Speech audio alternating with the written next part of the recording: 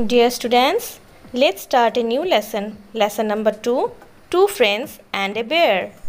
Let's listen. L I S list T E N 10 listen. এইটো ten টেনৰ T two চাৰ নহয় দেই এইটো লিচেন বুলি কয় যদিও ইয়াতে লিষ্টেন বুলি লিখা আছে let's listen to a story of two friends বোলা লিচেন মানে শুনা বোলা শুনো দুজন বন্ধুৰ এটা সাধু কথা অ ষ্টৰি এটা সাধু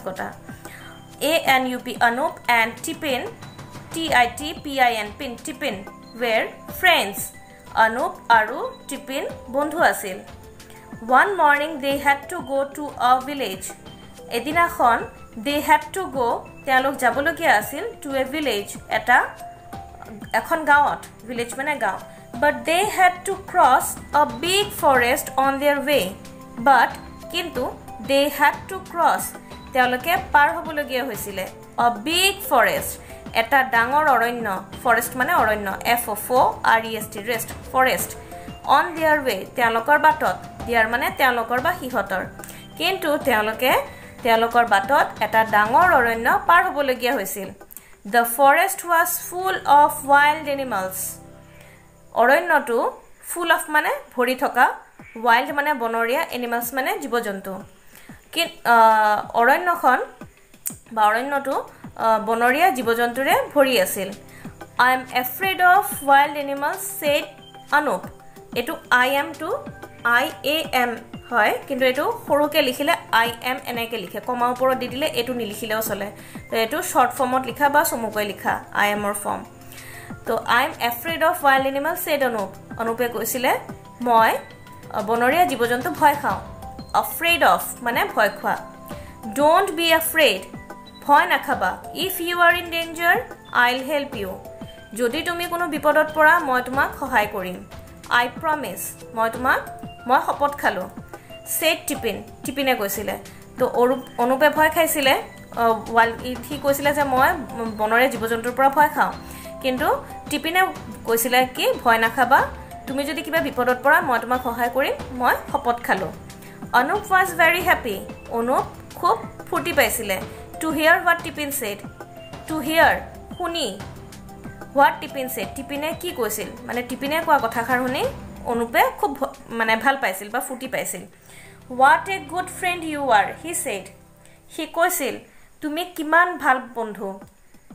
ছাডেনলি হঠাতে a big black bear came out of the forest a big এটা ডাঙৰ ব্লেক বিয়াৰ কলা ভালুক কেম আউট ওলাই আহিছিল অফ দ্য ফৰেষ্ট অৰণ্যৰ পৰা। হঠাতে অৰণ্যৰ পৰা এটা কলা ডাঙৰ ভালুক ওলাই আহিছিল। Anup and Tipin were frighten Anup আৰু টিপিনে ভয় খাইছিল। ফ্ৰাইটেন মানে ভয় খোৱা ভয় খাইছিল। Tipin forgot all about his promise forgot F O' R for G O' T got forgot টিপিনে তাৰ প্ৰমিছৰ কথা চব পাহৰি গৈছিল। অল মানে সকলো।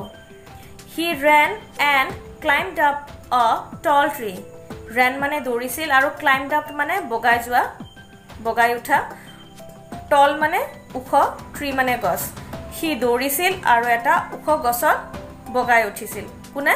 টিপিনে। টিপিনে ভয় খাইছিলে আৰু সি তাৰ প্ৰমিছ পাহৰি গৈছিল। অনুপক যি প্ৰমিছ কৰিছিলে আৰু সি কি কৰিছিলে এটা ওখ গছ এটা বগাই উঠি গৈছিল। Anup didn't know' how to climb a tree অনুপে জনা নাছিল ডিডেন ন' জনা নাছিল how to climb a tree কেনেকৈ এটা গছ বগাব লাগে but he remembered R E re M E M mem remem B E R ber E D remembered but he remembered কিন্তু তাৰ মনত পৰিছিল ৰিমেম্বাৰ মানে মনত পেলোৱা হোৱাট হিজ পেৰেণ্টছ তাৰ মাক দেউতাকে পেৰেণ্টছ মানে মাক দেউতা হেড ছেট টু হিম তাক কি কৈছিল a bear never touches a dead man's body a bear এটা ভালুকে নেভাৰ কেতিয়াও টাচেছ স্পৰ্শ কৰে। এ ডেড মেনছ বডি এটা মৰা মানুহৰ দেহ বা শৰীৰ। ডেড মানে মৰা। তো but he remembered what his parents had said to him a bear never touches a dead man's body কিন্তু তাৰ মনত পৰিছিল তাৰ মা দেউতাই তাক কি কৈছিল? কি বুলি কৈছিল যে এটা ভালুকে কেতিয়াও মৰা মানুহৰ দেহ স্পৰ্শ নকৰে। So' Anup lay down on the ground as if he were dead so' সেইকাৰণে Anup lay down lay down মানে শুই পৰা। সেইকাৰণে অনুপে কি কৰিছিলে? শুই পৰিছিল অন দ্য গ্ৰাউণ্ড মাটিত। গ্ৰাউণ্ড মানে মাটিত। এজ ইফ যেন হি ৱেৰ ডেড সি মৰি গৈছে। তাৰমানে সি দীঘলটি পৰি যোৱা মানে লে ডাউন মানে দীঘলটি পৰা। তো সেইকাৰণে অনুপে কি কৰিছিলে মাটিত দীঘলটি পৰি গৈছিল যেন সি মৰি গৈছে। The bear came to Anup and sniffed at him ভালুকে came to Anup অনুপৰ ওচৰলৈ আহিছিল এণ্ড স্নিফ্ট এট হিম আৰু তাক শুঙিছিল the bear thought that Anup was the bear thought that Anup was dead ভালুকে ভাবিছিল থট মানে ভাবিছিল যে অনুপ মৰি গৈছে। So' it slowly moved away and disappeared disappeared into the forest D I S dis A double P E A R E D disappeared into the forest so' it slowly moved away সেইকাৰণে সি লাহে লাহে আঁতৰি আহিছিল moved away আঁতৰি আহিছিল and ডিজএপিয়াৰ্ড ডিজএপিয়াৰ্ড মানে অদৃশ্য হৈ যোৱা নেদেখা হৈ যোৱা ইন টু দ্য ফৰেষ্ট অৰণ্যত।